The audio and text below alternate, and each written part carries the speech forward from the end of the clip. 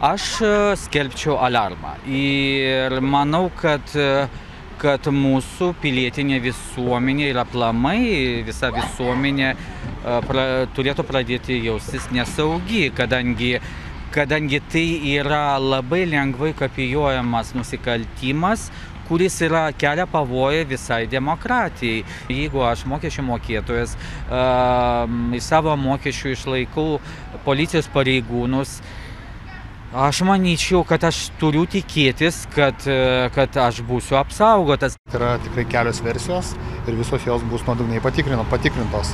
Ne išimtis ir režisieriaus keliama versija jinai taip pat yra tikrinama. Ir jeigu pasitvirtins kad tai yra tikrai susiję su neapykantos kurstymu tai papildomai taip pat bus pradėtas ty ikiteisminis tyrimas ir dėl neapykantos kurstymo. Nes kol kas tyrimai vyksta dėl svetimo turto sugadinimo